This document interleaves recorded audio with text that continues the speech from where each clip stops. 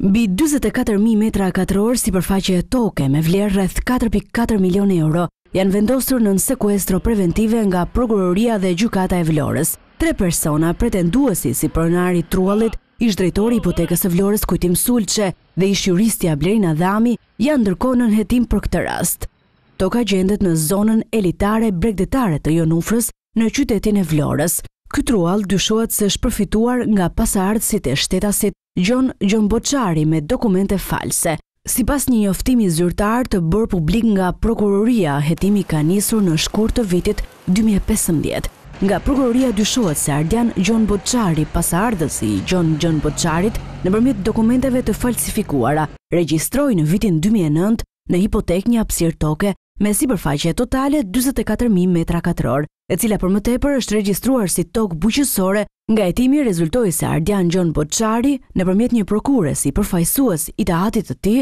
depozitoi në vitin dy mijë e nëntë në hipotekë një fotokopje të njësuar me origjinalin të një akti të marrjes së tokës në pronësi lëshuar në vitin një mijë e nëntëqind e nëntëdhjetë e gjashtë, por dokumenti origjinal nuk gjendet në asnjë nga institucionet që kanë për detyrë nxjerrjen dhe administrimin e dokumenteve të pronave.